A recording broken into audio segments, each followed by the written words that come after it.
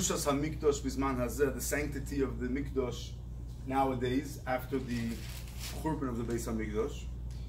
But um, just to make it more exciting and um, more practical, we're going to discuss a specific question, a specific halachic question, which will um, let us get into the topic of what is the status of the Beis Hamikdash today.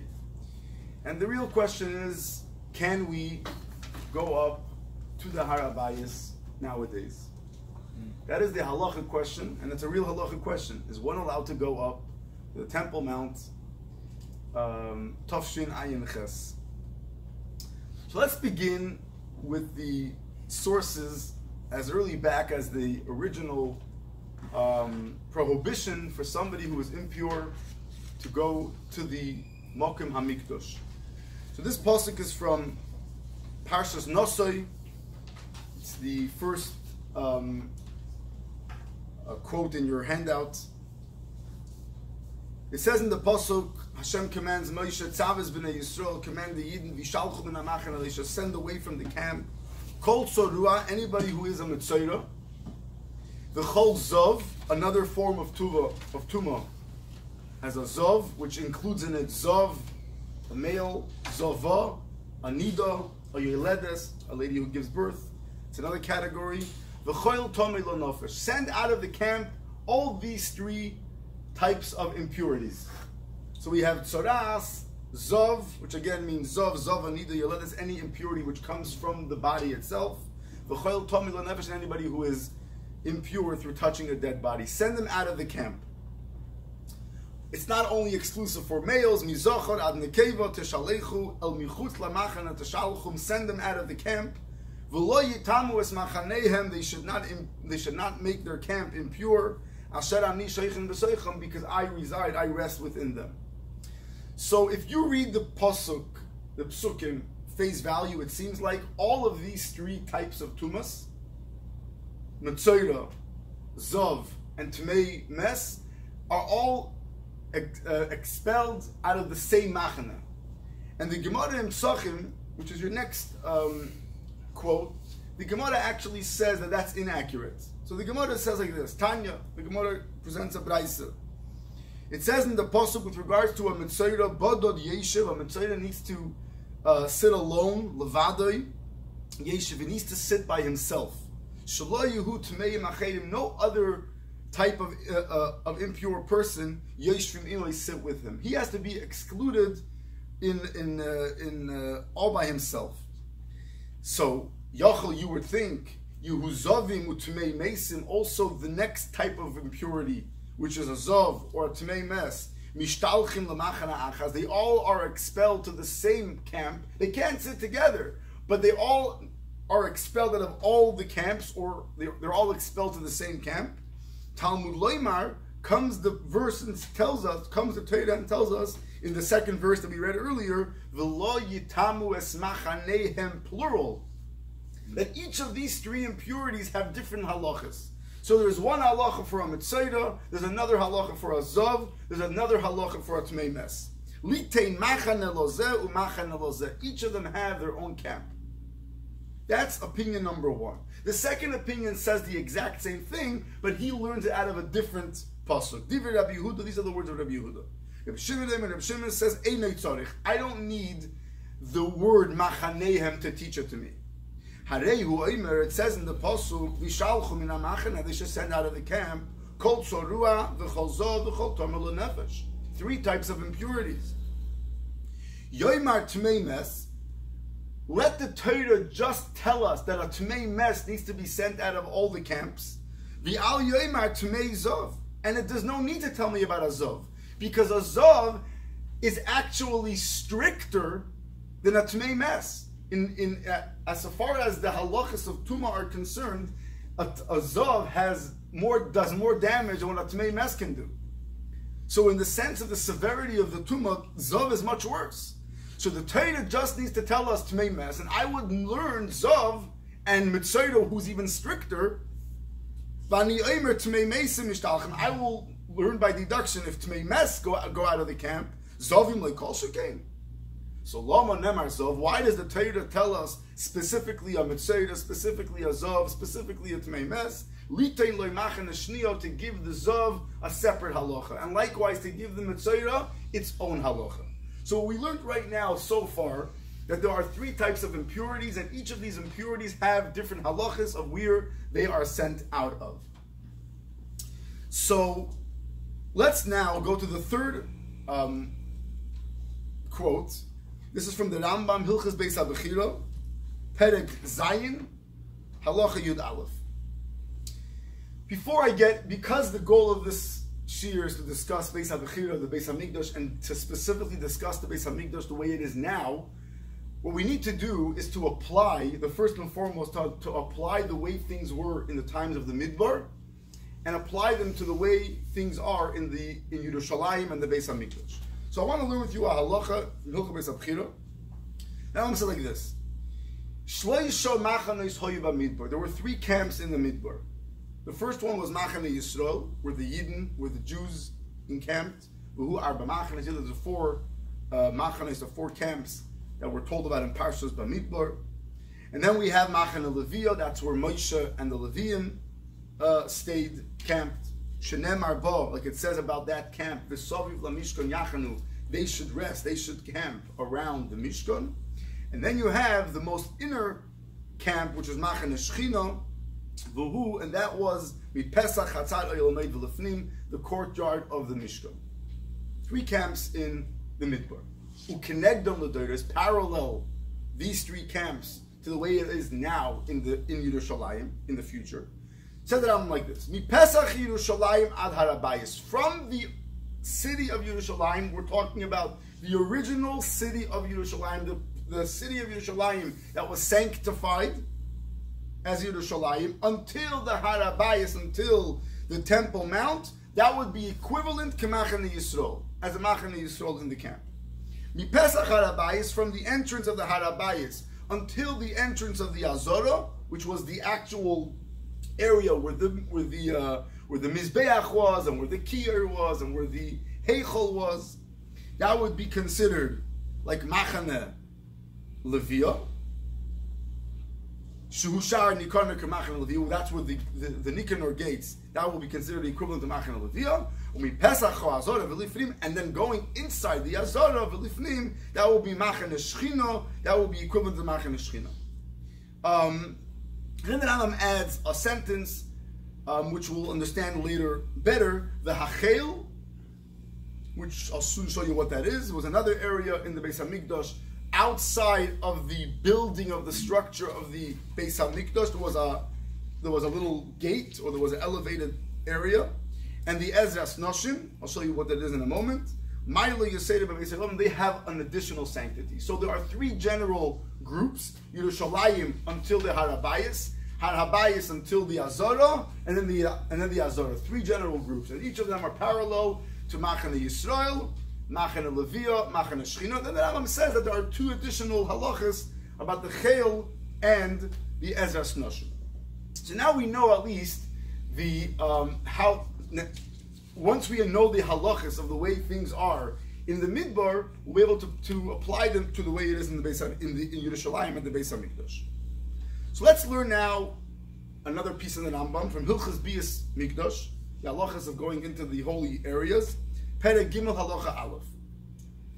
Says the Rambam, mitzvah l'shaleach kol. It's a mitzvah to send out all the impure people min hamikdash from the mikdash and ben v'chazov nefesh. We quoted that pasuk earlier. Said that I'm, a lot of things are redundant now that you know the background. Kan. The machane, which the pasuk is talking about over here, who machane shchina. So the pasuk is talking about machane shchina. Shuhu, like we just learned earlier, mi pesach ezes yisrael. The most inner part, the azora itself. Shemeya ani, I would think. All these three have to go out of that one camp, the camp of Machane Shechina. Talmud Leimar ben Mitzera comes along the Torah and teaches us that a Mitzera Bodod Yeshu Michus Lamachana Mishavei. A Mitzayra has to go completely out of all three camps. In the Midbar, he would have to be outside of Machana Yisrael. Equivalent nowadays would be a Mitzayra cannot be in Yerushalayim. Ze Machana Yisrael. Shuhumi Pesach Yerushalayim Lefnim. A Mitzayra cannot be found in the entire Yerushalayim proper. Um, let's just skip a little bit. To the end of the halacha, a line and a half before the end of the halacha. Lefichach, therefore, mishalchin es mitzayda chutz shemachnes. We send out the mitzayda out of the three camps. Shehu chutz lirushalayim. Halacha gimel. Then we have the next category, umishalchin zovin zovis nidus v'yildus. We send out the next category in the Torah, zovin zovis nidus v'yildus, outside of two machanes, chutz l'shtei machanes. Shehu chutz laharabayis, outside of the harabayis, and obviously outside of the azorah. So anybody who is a Zov, Zova, Nida, or Yiledes may be found in Yerushalayim, but cannot be in the Harabayas. Let's go to Halacha Dalit.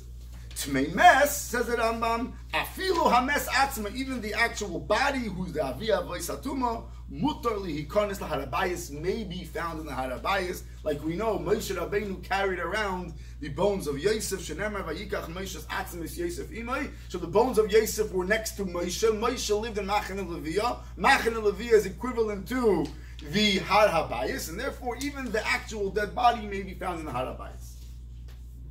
Then we have Allah Hey and Vav. If you remember that Adam also mentioned about the Chayil and the Ezras Nashim. So before we go into the halachas of that, let's just see the picture you have over here. It's not, it's not the best picture that I was able to find. I mean, it, it was the best picture that I can find, but I'm sure there are better pictures. Um, so, again, it's not accurate over here as far as the measurements, but the outside wall over here, that would be the wall surrounding the Har Habayis. Okay? So, a dead body Likewise, somebody who's a Tmei Mes is allowed to be found on the Harabayas. A Zov, Zov, or Nida Yeledes cannot be found inside these walls, has to be outside.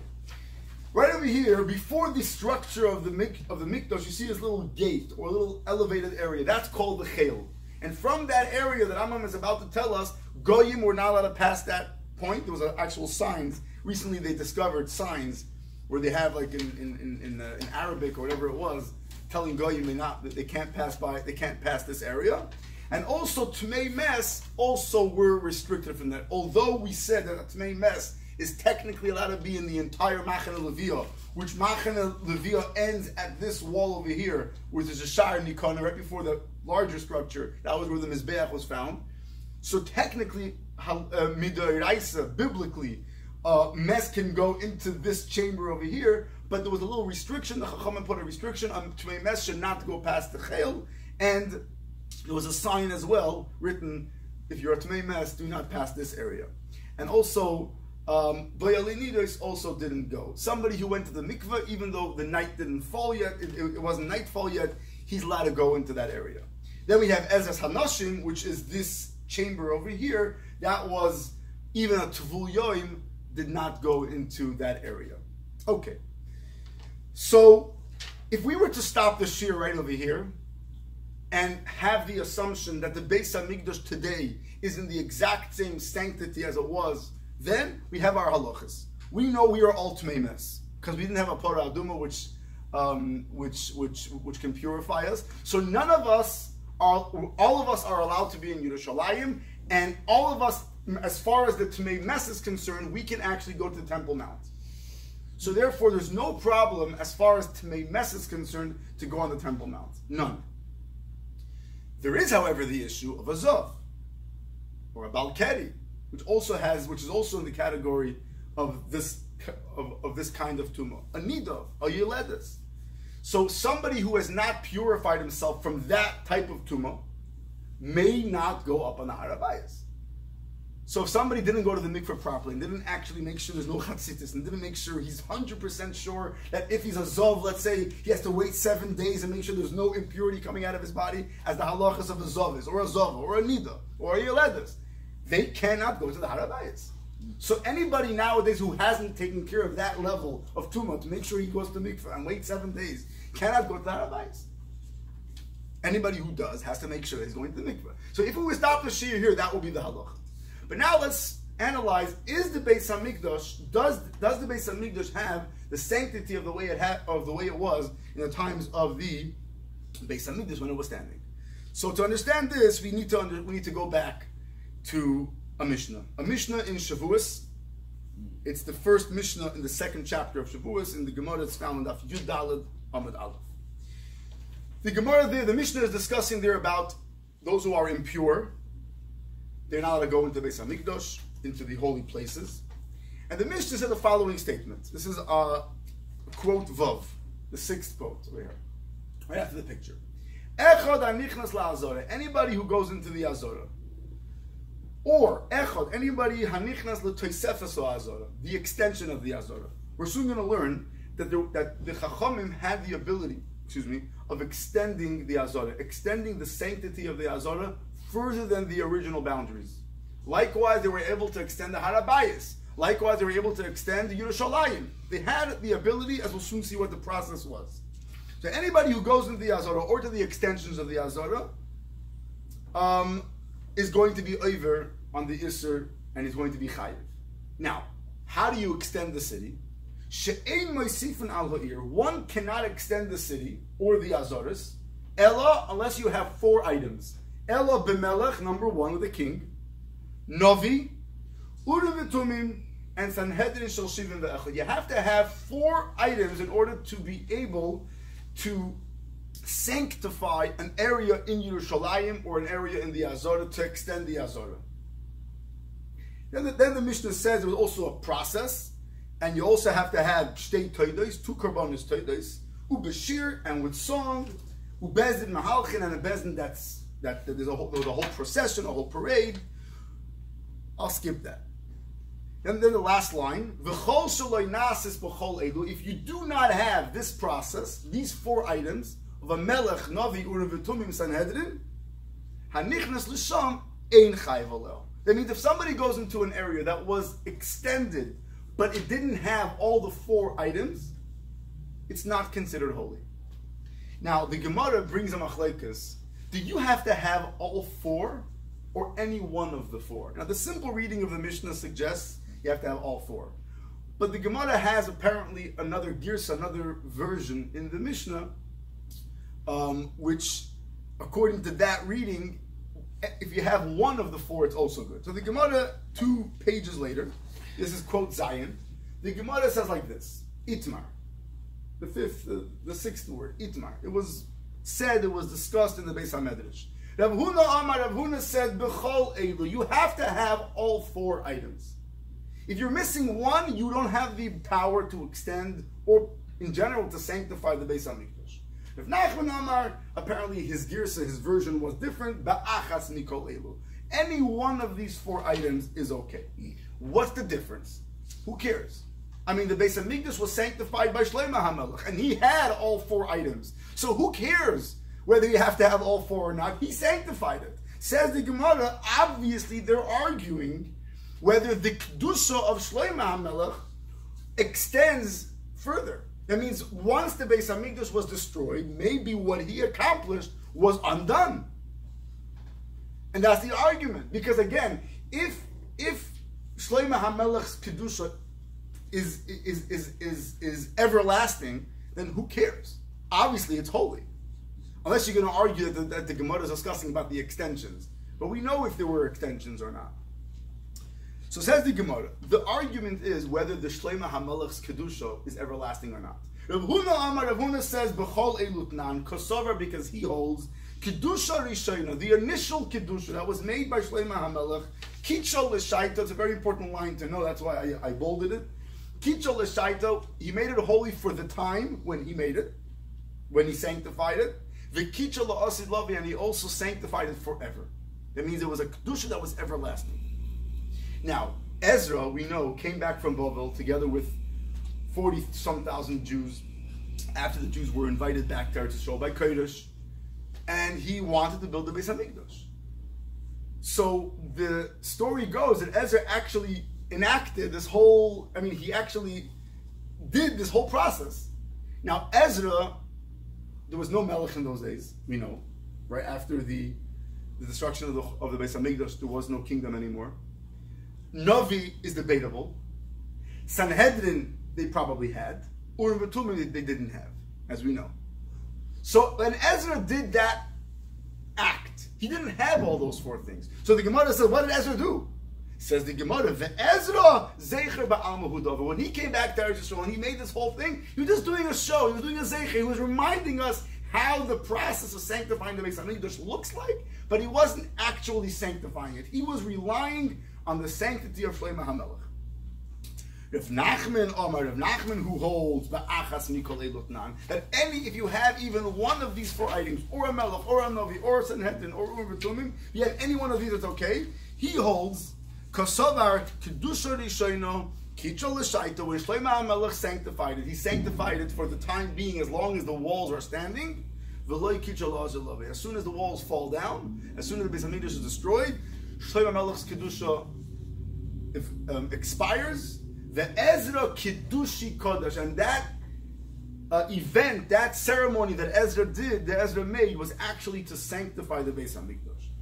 Even though there was no Urim Now, the logic would continue that Ezra's Kedusha also has an expiration date until the Churban Beis Hamikdash. So we have over here a machlek between Rav Huna and Rav Nachman, whether the Kedusha of the Beis Hamikdash is intrinsic, is everlasting, once it was done once by Shlomo HaMelech, it's there to stay, or it has an expiration date. As long as the walls are standing good, the walls fall apart, the walls are broken, they're breached, the Kedusha, the, the Kedusha expires. And it's a very big, obvious relevance to us. If you follow the Huna's position, then whatever we spoke about before applies. Can, we cannot go into the Harabais because it has that kedusha, that holiness, and those those dinim that apply to Yerushalayim and to the Harabais and to the Azorah apply to us today. If you hold like Rav Nachman, then there is no kedusha, there is no sanctity on the level of Mikdash Hashem that we have to be careful about. Now, maybe we have to be careful because it's, it's a special place. It has relevance to us. It has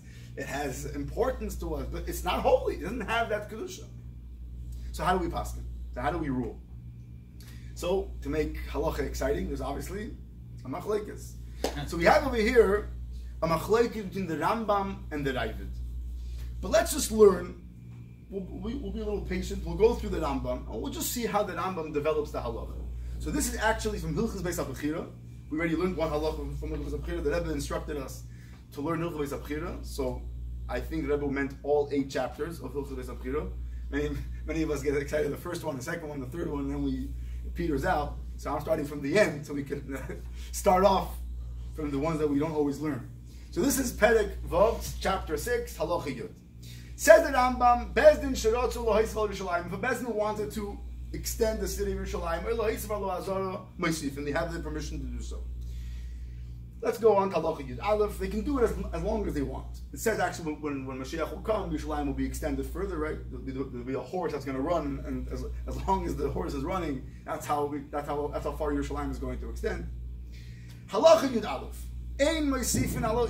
We don't extend the city. Oyala Azaris Elo. Al Pi Hamelech, Al Pi Novi, Urim Betumim, Al Pi Sanhedrin Shivim Ve'echad.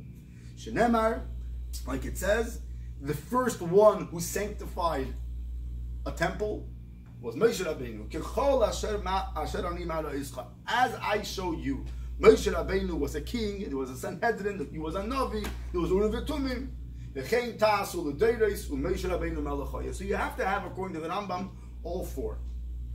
Why the Rambam only emphasizes the Melech part, we can debate it, we can discuss it. I don't want to get caught up with that.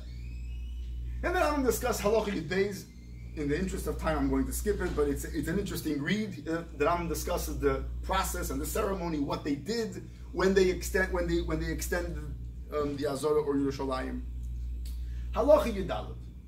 Kol Mokon, any place, Shaloi Nasa B'chol Elu, V'chaseder Hazeh, Ein Kodesh Gomer. It's not completely holy, which means it doesn't have the sanctity of the Mikdash. V'zeh also Ezra, state Toidas, and this and Ezra made that ceremony with two uh, Toidah sacrifices. Zikorein Husha also. But Loibim Maisav Niskadesh Amakim, not with his actions, was Yerushalayim holy. There was a Sanhedrin, and there were Nevi'im still. There was Nehemiah, there was um, Ezra himself could have been a Navi. There were others. There were Nevi'im around. So what made Yerushalayim holy? How did Ezra have the ability of being makriv karbonis? So who kiddush ha'azor of Yerushalayim l'shaiton v'kitcha la'osid lavish. So the Rambam clearly rules that Yerushalayim, Beis Hamikdash, the Azora is with the sanctity of Shleima HaMelech and it has no expiration date.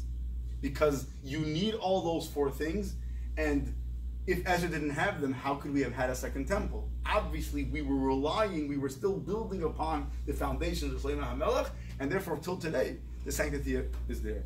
And then I'm continues halacha tezvav, a very important halacha. Lefichach, makrivim hakarbonis kulam. One is permitted to be makriv to sacrifice any korban. Even though there is no actual structure of the Beis Hamikdash, obviously you have to know where the where the mizbeach, where the mokum hamizbeach is. Obviously, you have to be pure. There are many conditions, but as far as the sanctity of the Beis Hamikdash, it's there. The place is there. The walls don't make the sanctity. You can eat the kachi kadoshim b'cholo azara. Even though there's no wall. V'oichlin kachim kalim, you could eat kachim kalim in Yerushalayim. U'maiser sheni b'chol Yerushalayim. Afal pisha ein shom even though the walls may have fallen. So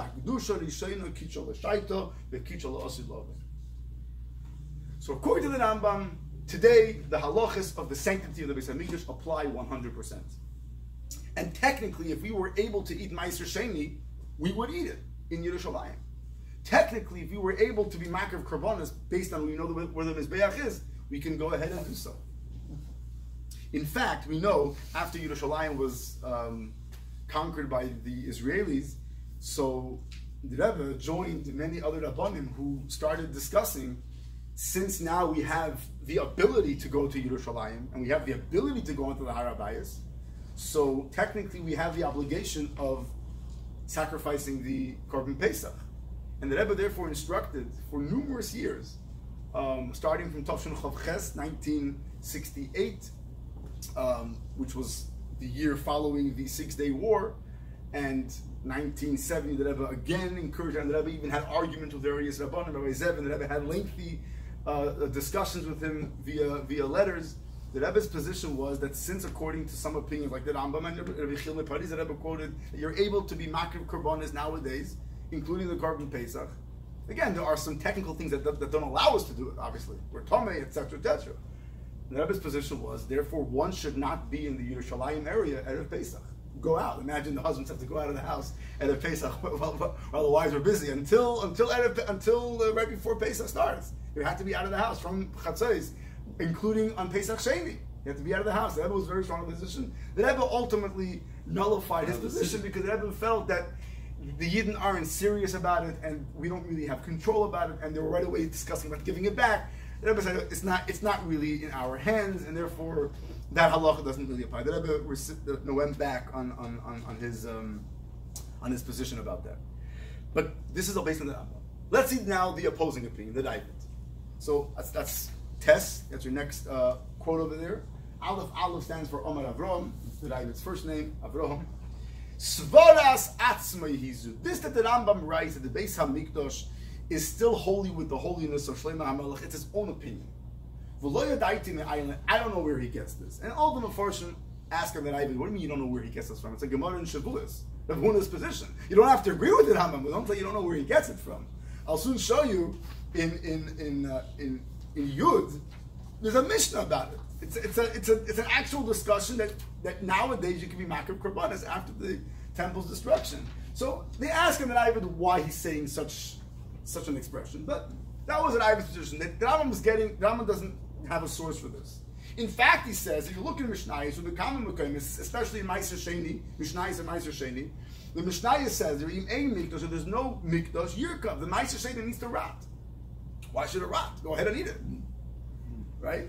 Ubi Gemara Amr, the Gemara of Mitzvah says, the Nafel, the, the Mechitzis, the Gemara is discussing there about, about exchanging Meiser Sheni in certain circumstances. The Gemara has a whole discussion. The Gemara says, we're talking about a case where the wall fell, at, the, the, the Ma'aser went into the city and then the walls fell, so then therefore you're, you're, you're, you're exempt from, from, uh, from eating it. That was the case. Clearly the Gemara is understanding as soon as the walls collapse, as soon as the, the, the, walls fall, the sanctity falls.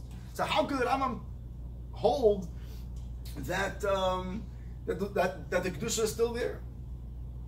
Alma lemanda omar kedusha yishayna leikich We see from this from these Gemaras and from these Mishnayos that the ones who hold kedusha yishayna leikich is talking about Beis Hamikdash and talking about Yerushalayim and talking about the entire Eretz Yisrael. That's it. The kedusha expired once the Yidden left. Once the Goyim took over. I'll, I'll skip a few lines because these are the confusing lines in, in the Ravid, uh, and it gets into a whole other discussion, which I do want to get to if we have time. But for now, let's want to, I want to focus on this part.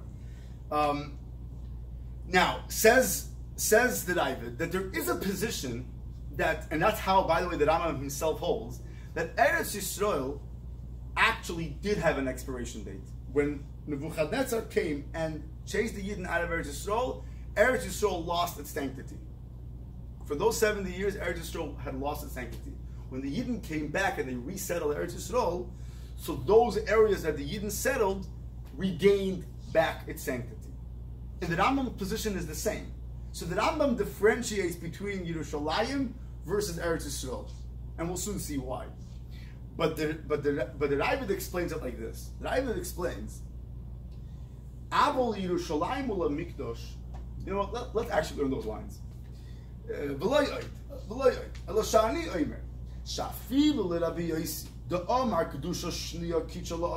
even according to Rabbi Yossi, it says that once Ezra came back, he reinstituted the kedusha back in Eretz Yisrael, and he instituted the kedusha back he was only referring to Eretz Yisrael, but not to Yerushalayim. Even the position that says that Ezra brought back the sanctity and it was forever, that was only with regards to Eretz Yisrael. Why? Because Ezra knew the Nevuah that ultimately Yerushalayim is going to be destroyed and it's going to change and it's going to have another sanctity, which that sanctity will be everlasting when Mashiach will come. With the glory of Hashem.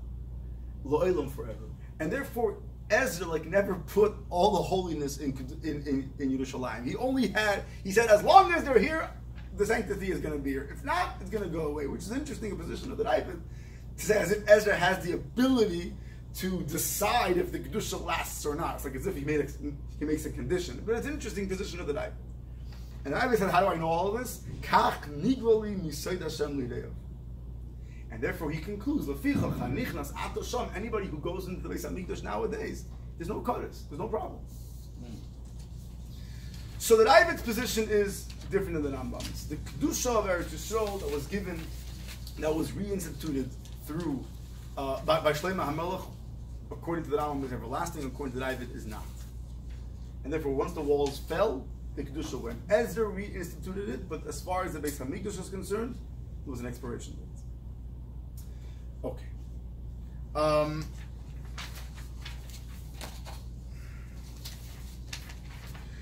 so,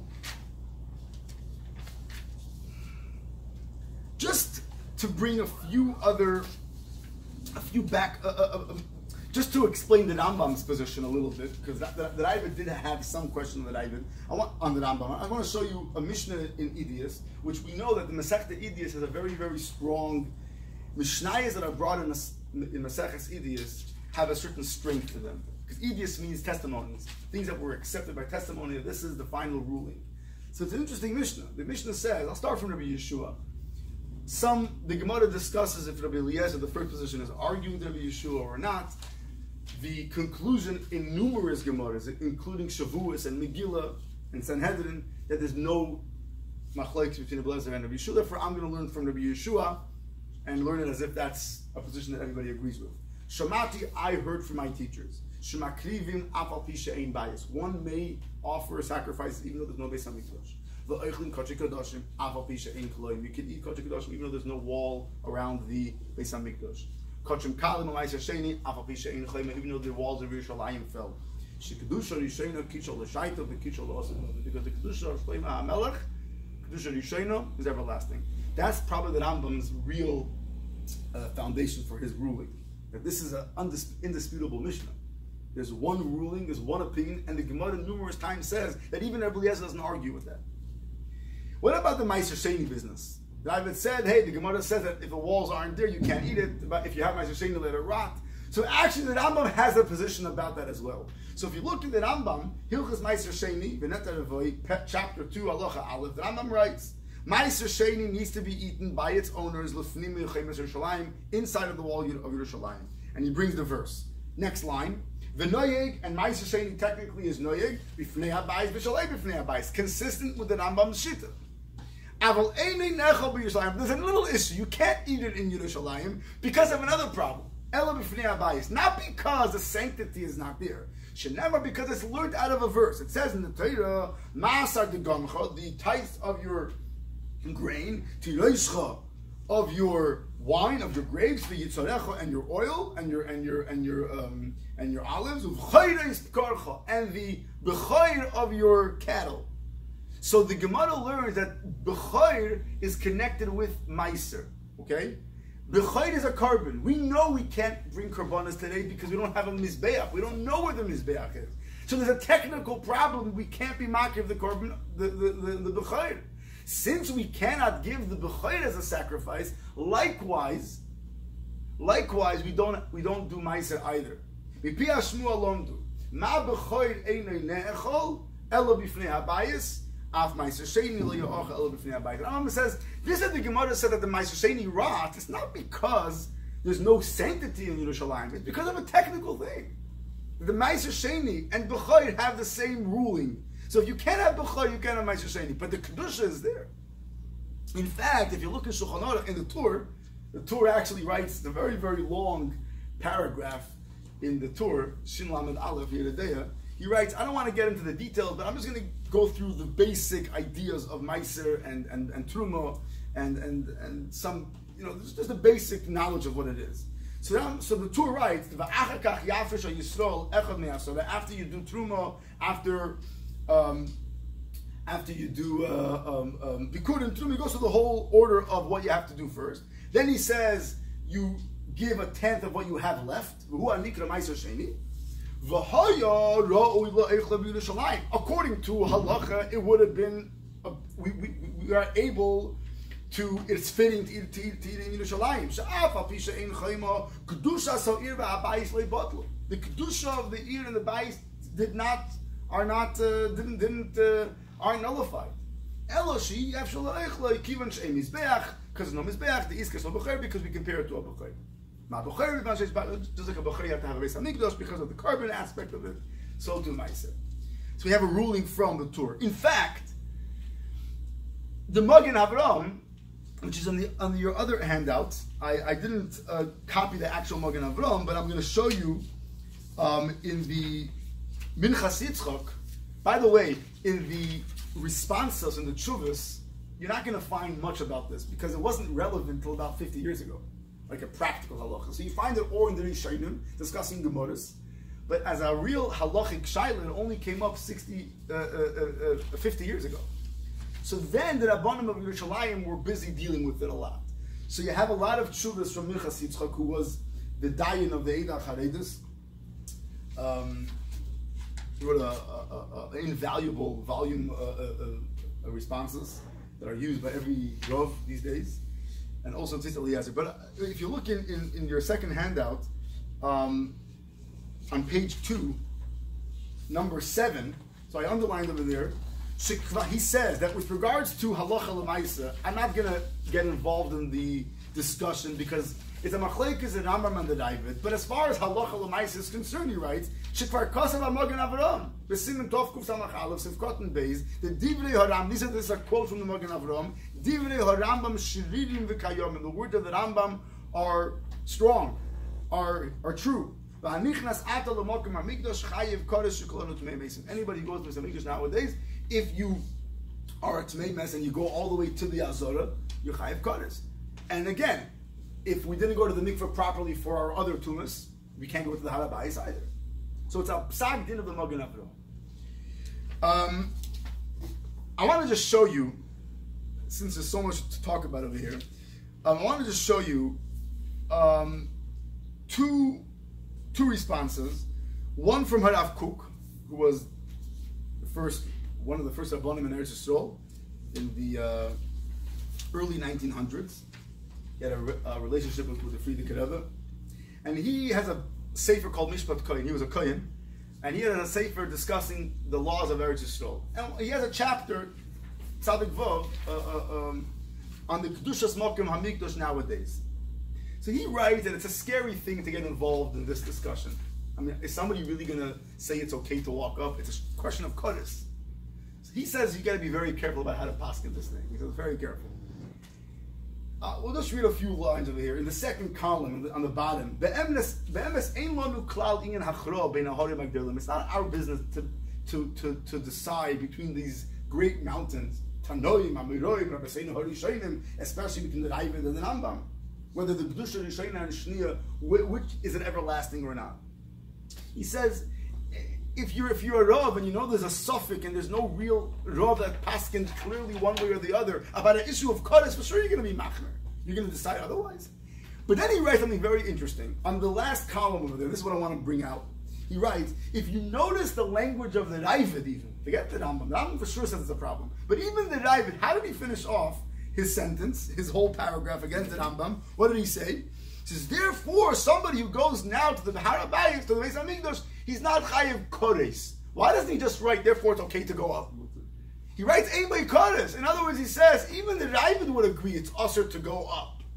He just says, since the sanctity halachically is not there, so therefore it's not called Mikdash Hashem. Therefore there's no Kodes.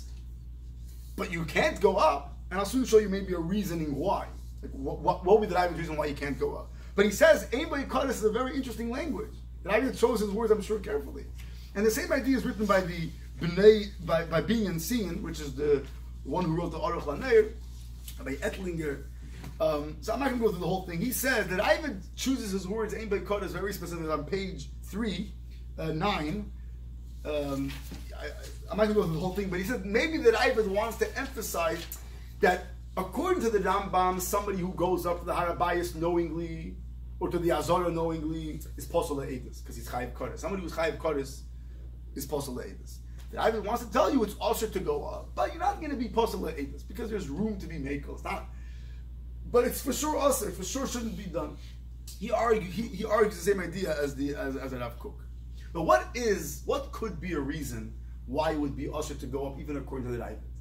So there's a rule that Eva said many, many times by Fabregas, even look what the Sikhs is brought down a few times, that the Ravid was not shy to argue with the Rambam. And when he didn't argue, it's because he probably agreed with the Rambam. Only when he argues, that's when he dis- that's when he differs.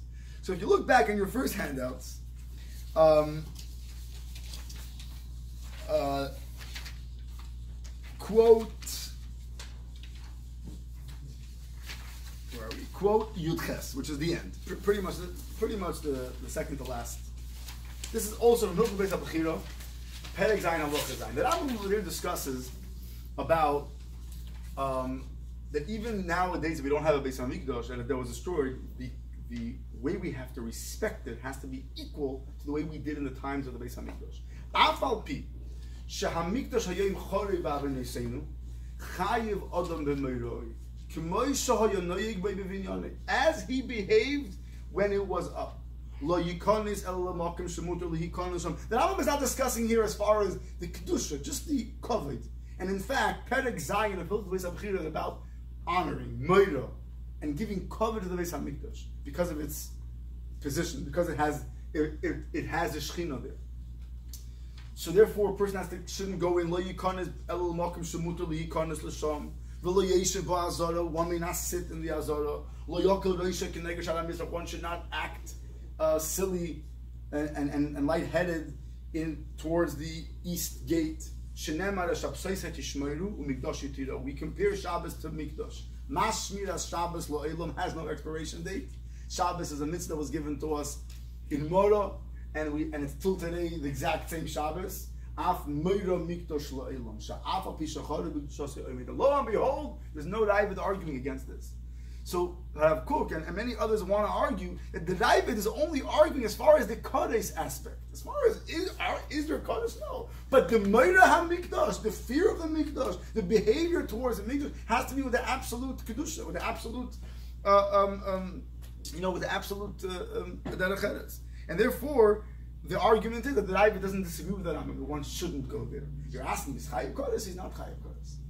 There's only one Rav that I think very, very clearly holds that we paskin like the Rambam, uh, like the Ravid. Now was at Avgorin, which was a chief rabbi in, of the army, later on a chief rabbi of, of Israel. Um, we can go into it in detail, but but his argument is that we paskin like the Ravid, and he has a reason behind it. He says the Meiri, which is on your second handout, page one, two. I'm just going to read to you two lines and we can go on and on. It's, it's, it's really, it's a really interesting discussion. Um, I'm just touching the surface of it. The Meiri writes, the Haminig Pasha, the, the, the, the Meiri sides with the Ravid, okay? And the Meiri quotes the Ravid that if you go there, there's no Kodesh. Then the Meiri adds a few words. He writes, the Haminig Pashut, it's, uh, it, it, it's, an accepted Likone Shom, to go into the Makam HaMikdash, Lefi Masha Shomaynu, based on what I heard. So the so Rav Goren argues and says the Meiri is not just saying that he postulated Ivy, he's saying I have testimony that people went up. That was the accepted behavior in, in Yerushalayim. And on this line, he goes and says, you can go up. Obviously, you have to go over the Cheres. Obviously, you have to go up with covet and then, you know, behave accordingly. And he says, the, the Ravid believes that the place is intrinsically holy, but it's not halachically holy. I mean, yes, we have the Abishur chose the Makam Hamikdash from way back when, when he created the world, he chose, uh, he, he created Adam Marishan, as, as, as, as Rambam writes halachically, he created Adam Marishan from the earth of the, of the place of the Mizbeach, right? So for sure he agrees that there's sanctity in it intrinsically, but halachically, no. And that's why the Meiri said people would go up.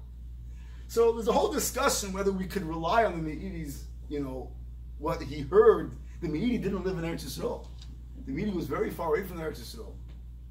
And the Achrayim deal with this extensively, and they say, it, it, halachically, one cannot rely on the Meiri's Shemua, but, but, but I'm, I'm going to end with this because we can go on. I'm going to end with this and one more point, just because I want to uh, share with you the Rebbe's position about this, at least what the Rebbe once, what, what, what the Rebbe wrote once.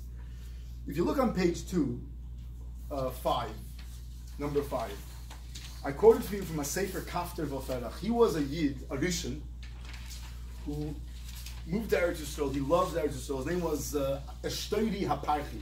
I, I, um, that was his name. Rabbeinu Eshteri Haparchi. And he loved Eretz Yisrael. And he wrote a Sefer. He went, he, he, he actually, he actually stayed. He traveled Eretz Yisrael. He says, he says, I went out to Yisrael, I went to go I, he checked out the plans and the place. He wanted to really get to understand all the psukim and how it applies to the actual Eretz Yisrael. And he writes extensively about Eretz Yisrael and the borders of Yerushalayim and the borders of the Harabais and the. He writes a lot about it. A lot of the foundations of the borders of the Azorah and the, and the Harabais is based on, what he, on, on, his testimony. He writes like this. Im kain hayoyim shanachnu. We are now suffering our sins. Mibachutz Outside of the Harabayas, we can go. I, am just quoting a little piece of it, but he, he discusses the, the Ksolim that he's referring to is the Ksolim of the Harabayas, which means the Kaisal Amarovi, that, that, that wall. V'chein amod debar. And he lived in Eretz Yisrael. He lived in Eretz Yisrael. Yes, true, he was in the 14th century, about the same time, maybe a little, a little, a little after, maybe the um, the Meiri. V'chein amod debar. Boim ad oisam aksolim umispalim okelis baruch lifnei elu hasorim sheyizkarnu. And ah, you're going to ask, what's the point? Like, why is it more holy than anywhere else?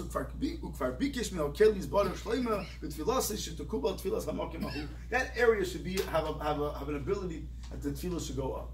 That's why we all daven toward Yerushalayim. The tefillah should go up through Yerushalayim. Tel piyos, tal piyos, uh, a mound that all the mouths turn towards. So the Minchas Yitzchak and, and, and others, they bring down, if you look in, in, in, in, six, he writes, How can you compare the, the, the Shmuah, what he heard from others, to somebody who actually lived in, in Eretz Yisrael at that time? But if you look in the sixth underline there, Shoya Rachik Yerushalayim, because like Shmuah, he only wrote it based on what he heard. And he himself writes it's only a Shmuah. And, and, and, and conversely, he lived at that time apparently. Solim. So you compare a Edus Re'iyah, someone who actually was there and witnessed what's going on, versus the Meiri. Others argue also the Meiri, who says it was a Rav in Yerushalayim in those times, that was an established rabbinate that would stop people from going up. Could be it was just one big, you know, chaotic area, chaotic, uh, it wasn't, there was no organized, you know, rabbinate. So could be there was no Rav that would tell people don't go past this place, I don't know. So many I argue that you can't rely on the Meiri and Paskin Adin based on those three, four words that I heard that people would go up there. And for all practical purposes, basically every Rav, and, I, and, and you have in your handout in the last page there, I showed you some, some of the signs that would go up that, that went up in, in, in different kufas, one from Rav Kook, one from, uh, from the current rabbinate in, in Yerushalayim. It, it's an obvious thing, no one should go up.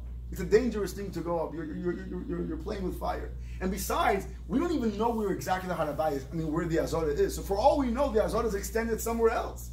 Do you know that the Radvaz, and I, and I quote it over here, hold at the the wall of the Kaisel Maravi, that is the wall of the Beis Hamikdash. That means technically you're in the Azara. The reason why we don't take the advice too seriously because he himself contradicts himself in, in two places, and most agree that the, that the place of the, of the we have pretty clear evidence the place of the of the of the of the is definitely on outside of the bias. But to argue that just you can walk in without really, really having concrete evidence and proof where the where the Azara is, where the Harabayas is, without taking the precautions is very dangerous. The Rebbe writes, um, it's actually a ksav yad. So it's not, it's not, it's not, I'm not taking it from a, there's actually a ksav yad um, that recently, um, when, when, when, I put this year together a few years ago, at the time it was only printed in Shulchan Menachem, but, re, but, recently uh, I saw the actual ksav. I think that I wrote this to Harav Getz, who was the Rav of the Kaisel at the time, and he wrote in page 3, 10. On the second handout, page 310. He writes over there, the Rebbe writes like this the Rav was asking the Rebbe, do you think we should bring up to discussion this issue of going up to the Harabayas? Rebbe says, Poshut. In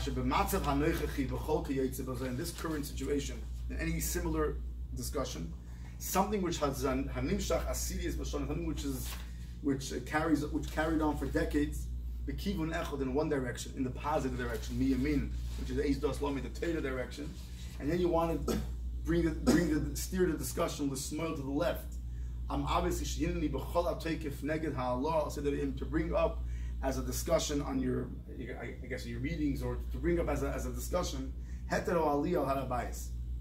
The uh, the notion maybe you'll be allowed to go up to the harabayis because kiteke from miyad as soon as you start debating this.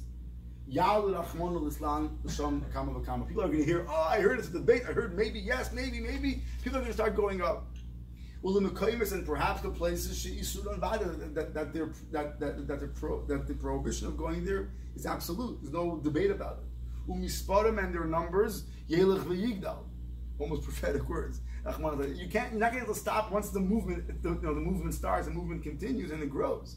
And then once you're going to warn them to stop, it's only going to get them more excited to talk. Now we for sure have to do it. So any warning, if they'll ever come, they're only going to get people more and more excited. And they're going to increase the people that are going to go.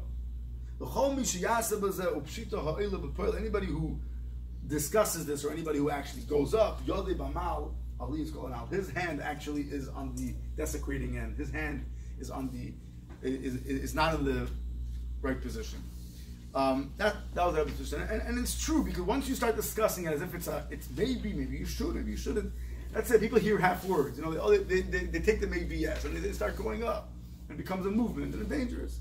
So, in, in summation, I think it's pretty clear that even if you don't agree with the Rambam, which the majority of opinions say we probably should agree with the Rambam, and actually, uh, I'm not going to go this now, but in your hand that you have on um, uh, ha, quote quote um, Yudal I brought five Rishonim who say almost verbatim what the Rambam writes that the kedusha of Yerushalayim and the Beis Hamikdash was the kedusha of Shlomo HaMelech, and that seems to be the accepted opinion amongst the Rishonim and amongst the poskim of our generation.